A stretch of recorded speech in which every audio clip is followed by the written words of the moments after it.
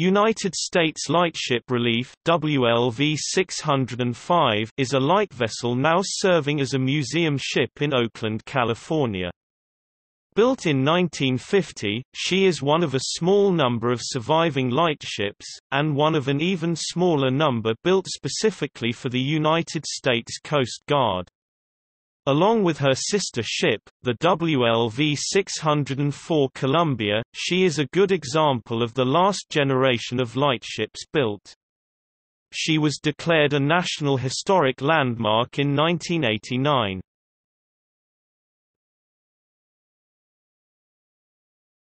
Topic: Description and history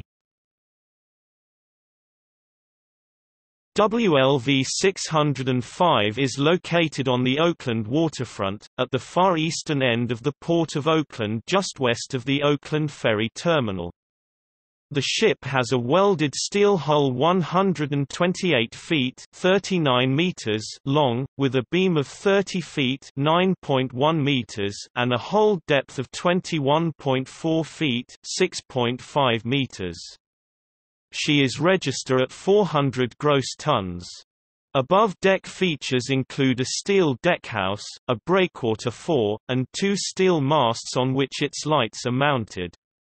She also historically carried a fog signal and bell, both operated by hand. WLV 605 was laid down as WOL 605 in 1949 at the Rice Brothers Shipyard in East Boothbay Harbor, Maine. She was launched on March 4, 1950, just 16 days after Columbia, and was delivered, fully fitted, to the Coast Guard in February 11, 1951. She began service at the light station, Overfalls, at the entrance to Delaware Bay, serving until 1960, when the station was discontinued. She then sailed to the west coast, where she served at Blunt's Reef until 1969. During this time Coast Guard light vessels were redesignated, and she was redesignated WLV 605. She was then given the name Relief, assigned duty to relieve other lightships on the Pacific coast. She was retired from service in 1975 and decommissioned the following year. After several unsuccessful attempts to convert her to a museum ship, she was acquired in 1986 by the United States Lighthouse Society, which now maintains the vessel in Oakland.